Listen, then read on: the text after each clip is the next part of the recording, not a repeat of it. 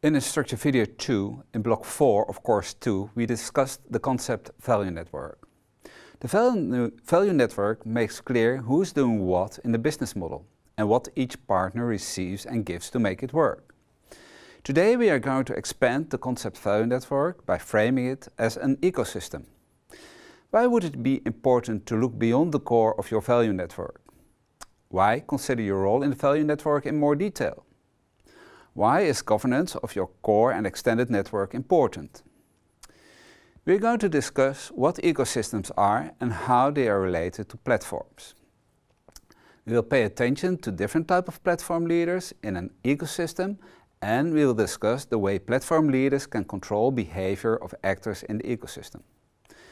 The concept ecosystem discusses how companies who are both cooperators and competitors work together around a new innovation to create new products and services and satisfy customer needs.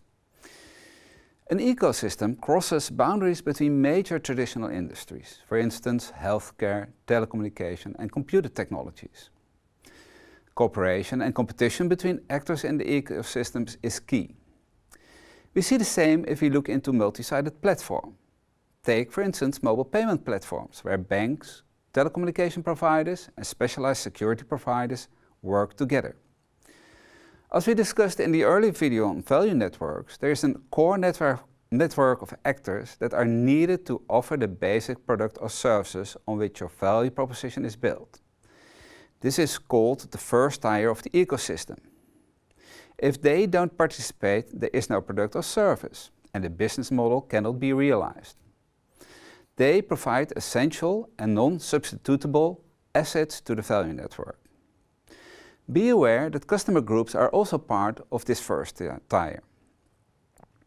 In the case of multi-sided platforms, there are multiple actors. For instance, the first tier in a payment platform for e-commerce consists of multiple, multiple payment providers, such as credit card companies or banks, and customers like merchants.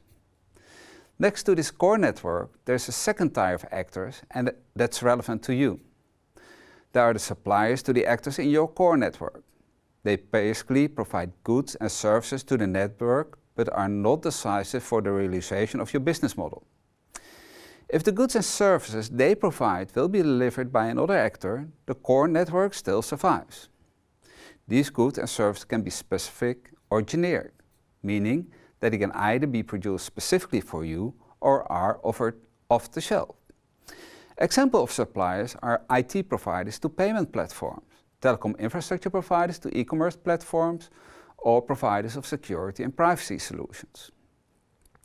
Next, there are actors that more or less define the context of your activities, like competitors, labor unions, consumer organizations, government and regulators standardization organization, and so on.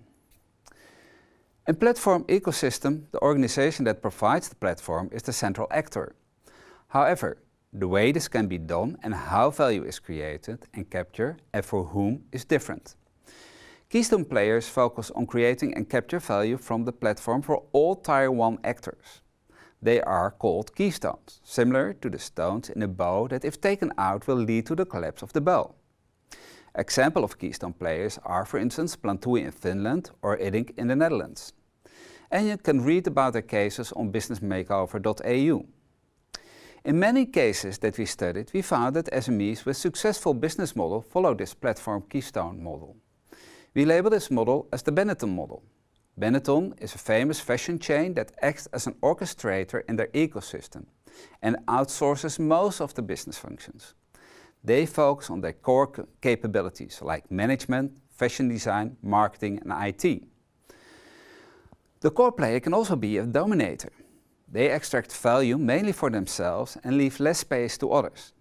Typically, these are companies from Silicon Valley like Microsoft, Apple, Google and many others. How are these networks managed?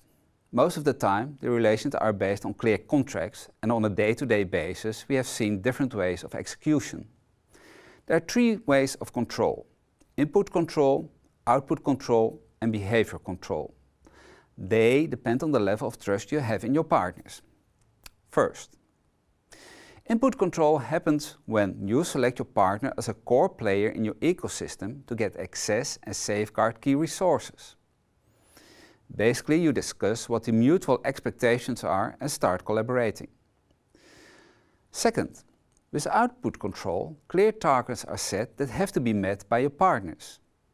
This happens most of the time when you have to meet and safeguard customer expectations and relation.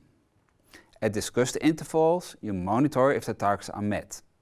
This can be monthly, on a quarterly basis or a yearly basis. Finally, behavior control implies that you are continually monitoring the behavior of your partner, almost real time, and you provide immediate feedback if operational interdependencies play an important role. In conclusion, the different control mechanisms are related to the level of trust you have in your partner. So, when discussing the way you work with your ecosystem partners, be aware that they are competitors as well as core providers. Know that Keystone players are more, more successful and that your management style has to be adjusted. It might be worthwhile to reflect on your own ecosystem and ask the question, whom of my collaborating companies can also be my competitors? How do I act in my ecosystem?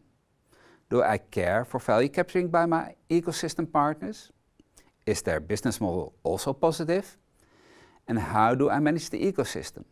Based on trust and input control or on behavior control like dominators tend to do?